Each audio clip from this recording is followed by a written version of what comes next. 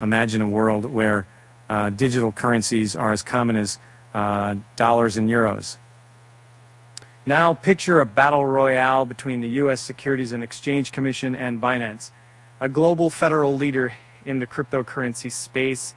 Uh, this is the backdrop for the latest legal drama unfolding in the world of fintech. And a surprising twist, the SEC is not just fighting Binance but also his own subsidiaries, Binance.us and CEO-CZ.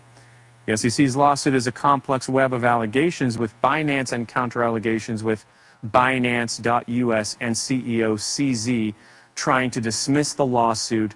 The SEC, however, is not ready to let go so easily.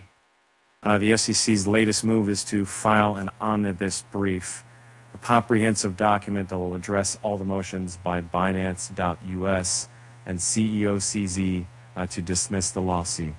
Uh, this move is part of SEC's strategy to respond to the defendants' overlapping legal arguments in a judicially efficient manner. Uh, and be rapid too with the development for it. Meanwhile, in a separate development, a magistrate judge named Faruqui is granted an order to seal certain documents related to the parties' joint status report. Unauthorized access to confidential and personal information.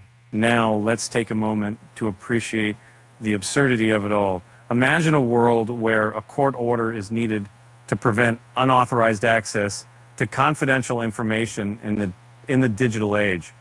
Uh, it's like ordering a locksmith to secure the front door of, of a house that's already been broken into.